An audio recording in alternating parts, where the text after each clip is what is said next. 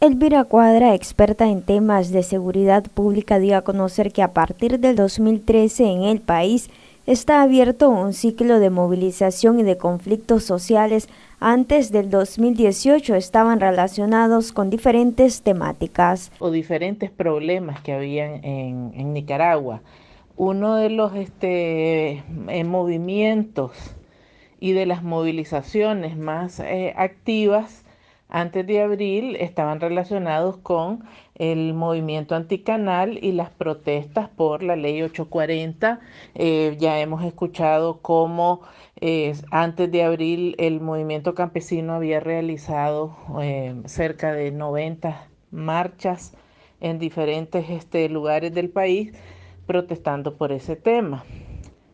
Otra, digamos, movilización que se produjo antes de abril estuvo relacionada con eh, el rechazo a las concesiones mineras también en diferentes lugares del país, por ejemplo, eh, Santo Domingo, Chontales, Matagalpa, en Rancho Grande y también en León, ¿verdad? Ahí hubo, eh, por ejemplo, en el 2015 la protesta en la mina del Limón, que fue una de las más importantes que hubo y que este, pues reveló esa situación.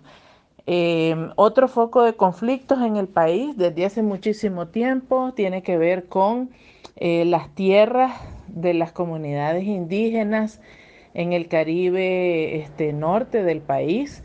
Y bueno, ya hemos visto cómo en los últimos días pues ha habido una situación en relación con ese tema, con, con la matanza este, que hubo recientemente en, la comunidad mayagna, ¿verdad?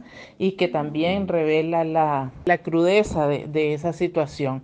Y bueno, eh, en términos más generales, pues la crisis sociopolítica que vive el país desde abril de 2018 también nos muestra que eh, hay una situación de conflicto generalizada que tiene que ser atendida y que requiere una solución, eh, digamos, en el, en el corto plazo. Noticias 12, Darlene Telles.